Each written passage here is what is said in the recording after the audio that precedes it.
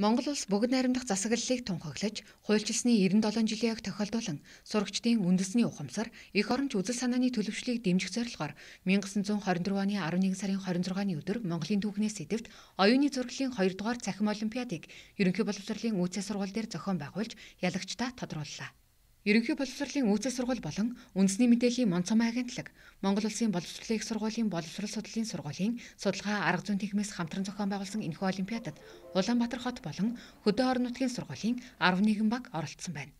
Олимпиадын 1-р байрт тус сургуулийн 12-ын ангийн сурагч Ануужин, 2-р байрт Өвөр ханга аймгийн 9 дэх сумын ерөнхий боловсролын сургуулийн 12-ын А ангийн сурагч Номиндар, Үүсээ сургуулийн 12-ын А ангийн сурагч Буян Зуя, 3 дугаар байрт Хөвсгөл аймгийн Тариалан сумын ерөнхий боловсролын сургуулийн 10 бай ангийн сурагч Отхон зул, Үүсээ сургуулийн 10 ангийн сурагч Уярал, Үүсээ сургуулийн 11 ангийн сурагч Хулан шалгарлаа.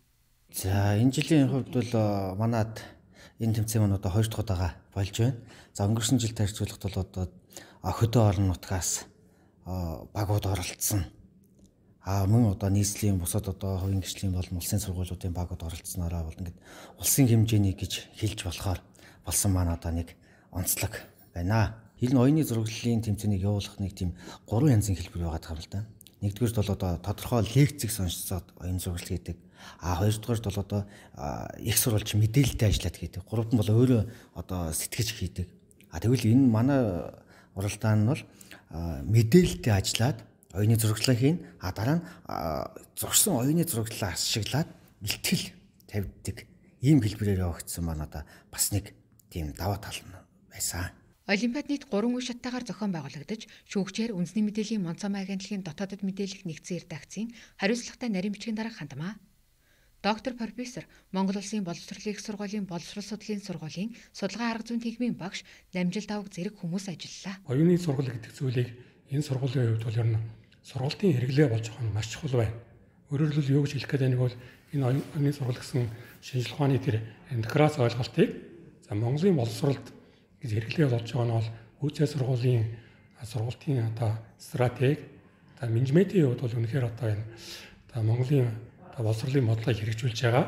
За дэлхийн түвшний тэр суралцгын онол үзлэр эмтлийг бол ингэж хэрэглээ болгоод хүүхдийн одоо тэр оюуны сэтгэлийг бол илүү хөгжүүлж тэр тусмаа одоо гэр бүлийн хүрээнд хамтаараа ярилцаж альва асуудлыг шийдэж байгаа энэ чухал юм бол энд та харагдаж байна. Өөрөөр хэлбэл юу хэлэх гээд байна вэ?